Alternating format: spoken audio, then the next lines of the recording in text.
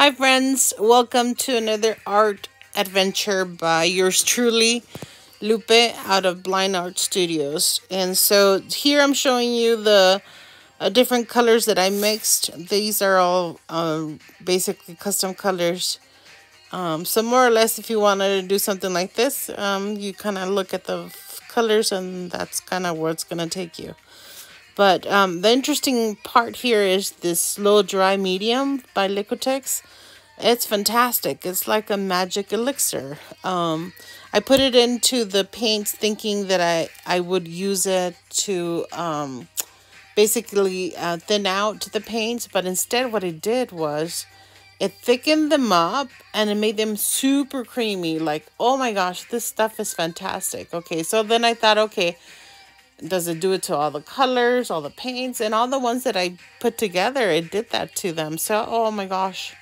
Um, it is kind of expensive, but oh my goodness. I'm going to try this for when I'm actually pouring as well. So, yeah, because sometimes I'll have paints that are like super thin and it's like, oh gosh, you know, how do I thicken them up? Um, this thing that I just found. So, anyhow, um, so earlier you saw that my reference um, photos for this uh, um, flower are basically uh, photos of a lily plant that's in a flower pot outside as well as a book called Flowers, Flowers, Flowers, which is a book on flower arrangement.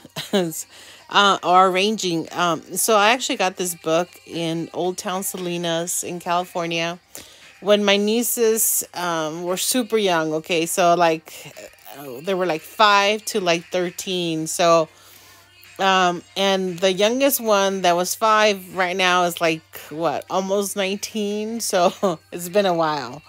Um, and when I had my accident, I got rid of all my books, I mean, all my textbooks and stuff like that in print but I didn't get rid of like the unusual the stuff, right? And um, so thank goodness I didn't because um, now they're fantastic reference uh, references for me. Um, maybe the textbooks would have also um, been um, obviously can't do the whole writing stuff, but the photos, um, you know, what I do is basically I take a picture of whatever it is that I need as a reference and then I airplay it onto the big screen and then I can more or less uh, figure out shapes and stuff like that. So anyhow, so if you like what I'm doing, um, if you want to support me, please like and subscribe. Um, also, do a comment, even if it's just like a happy face or whatever. Um, apparently, the algorithms like comments.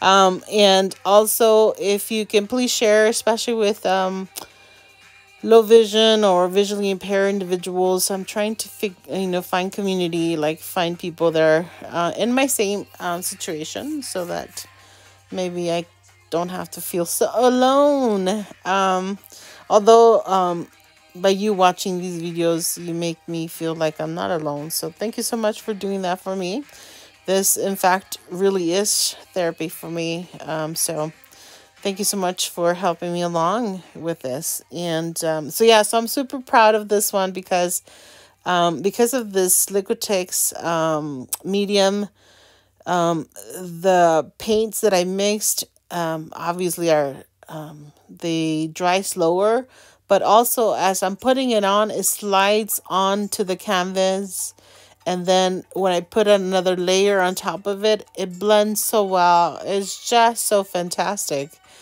Uh, I, you know, I bought it um, because I couldn't find floating medium for the one stroke um, sessions or lessons that Donna Dewberry does on YouTube.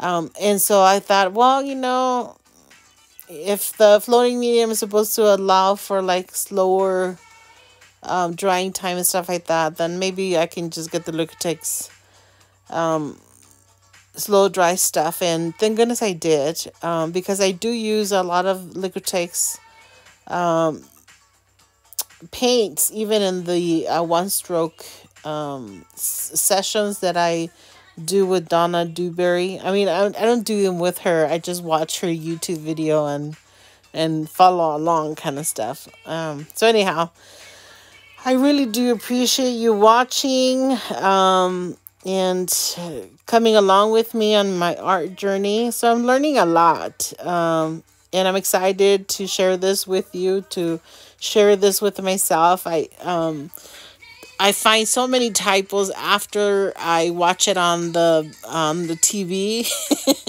but not when I'm editing, which sucks. But it's okay. Um, so, like I said, thank you so much for watching. I really do appreciate your support, and um, hopefully, I'll see you back again for my next port um, tomorrow. So I um I publish videos every day. All right, thanks. See you.